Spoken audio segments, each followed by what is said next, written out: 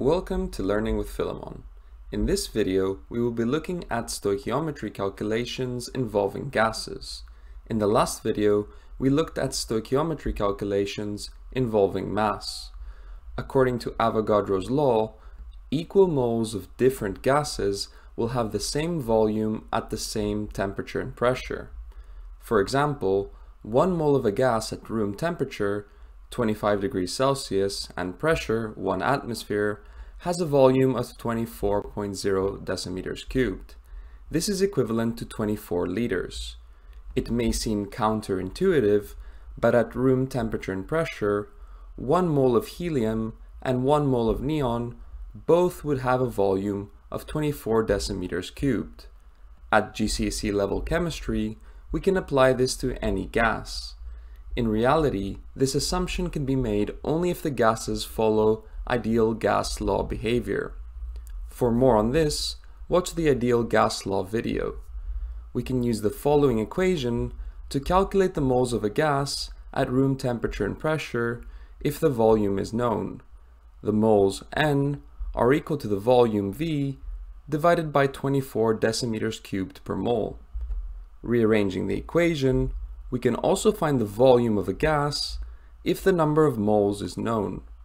V is equal to N multiplied by 24 decimeters cubed per mole. Now let's see how we can apply this to chemical equations. A typical question would look like this.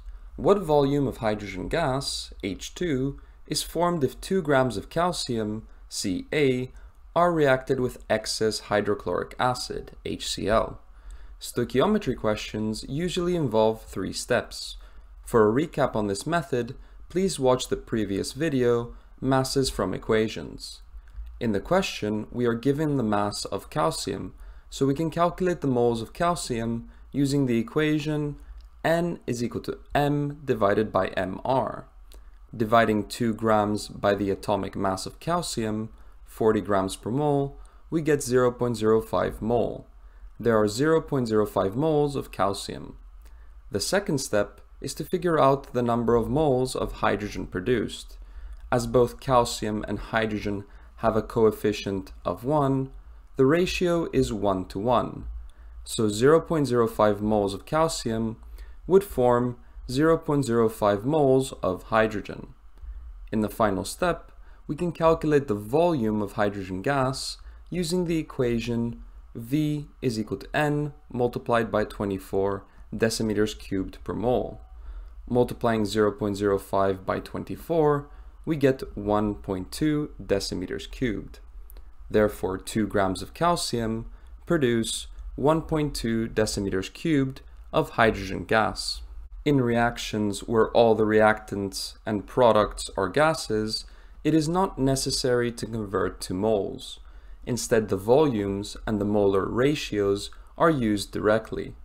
In this reaction, ethane, C2H6, undergoes complete combustion, reacting with oxygen, O2, to form carbon dioxide, CO2, and water, H2O.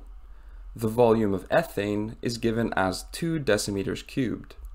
The ratio between ethane and oxygen is 1 to 7 over 2 multiplying 2 by 7 over 2, we get the volume of oxygen that is required to react with 2 decimeters cubed of ethane.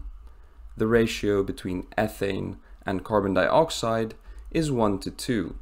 Multiplying 2 decimeters cubed by 2, we get the volume of carbon dioxide produced. The ratio between ethane and water is 1 to 3.